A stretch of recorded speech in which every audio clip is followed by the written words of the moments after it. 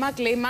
Καλωσορίζουμε Μελίνα Τσέλιου με το ιατρικό σας. θέμα της ημέρας. Μελίνα, γιατί θα συζητήσουμε σήμερα; Θα συζητήσουμε για το σύνδρομο RET ε, μετά από... ε, Μας το ζήτησαν ε, οι γονείς ε, και οι φίλοι παιδιών που πάσχουν από το σύνδρομο RET και θα ήθελα λίγο να δείξουμε και την κάρτα ε, αυτή. Ο λόγος που ερχόμαστε, λένε, σε επαφή μαζί σας είναι γιατί προσπαθούμε να ενημερώσουμε τους γονείς ότι ιδρύθηκε και για την Ελλάδα Σύλλογος για το σύνδρομο και όσοι θέλουν να έρθουν σε επαφή μαζί μας, ώστε όλοι μαζί α, να μπορέσουμε να λύσουμε τα προβλήματα που βιώνουν τα παιδιά μας και εμείς. Αν θα μπορούσατε σε κάποια παρουσίαση να αναφέρετε για το ΡΕΤ, θα ήταν μεγάλη βοήθεια στο έργο μας.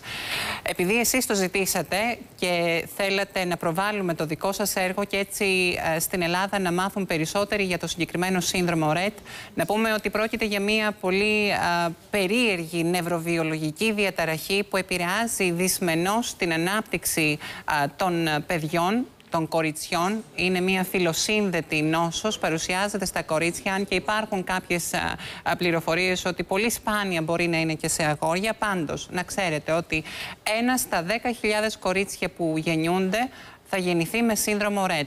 Ας δούμε όμως λίγο τι μπορεί να παρουσιάσουν α, τα κορίτσια με το συγκεκριμένο νόσημα.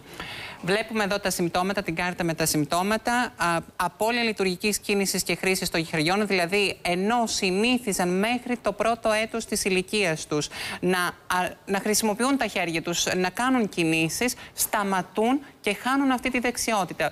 Επίσης μπορεί να συνήθιζαν να έχουν αρχίσει μέσα στον πρώτο χρόνο να λένε μικρές λεξούλες. Θα χάσουν και αυτή την ικανότητα να μιλούν.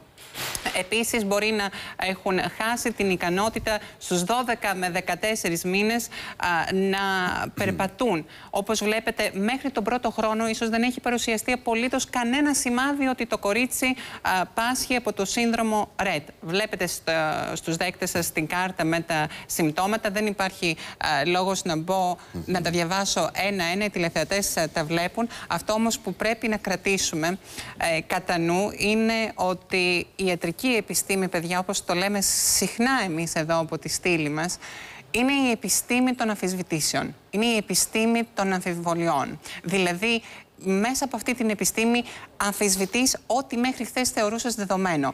Άρα ξέραμε ότι αυτή η γενετική νόσος δεν μπορούμε να παρέμβουμε. Ελάτε όμως τώρα ότι τον Ιούνιο του 2012 όλα τα βλέμματα είναι στραμμένα στη Νέα Ορλεάνη γιατί εκεί θα κάνουν ανακοινώσεις για τα πρώτα αποτελέσματα κλινικών μελετών που ίσως, ίσως να είναι πολύ ευχάριστα και για μακάρι αυτούς τους γονείς. να υπάρξουν λοιπόν α, ανακουφιστικά αποτελέσματα α, για τα παιδιά που υποφέρουν από αυτήν την ασθένεια. Μελίνα, σε ευχαριστούμε πολύ.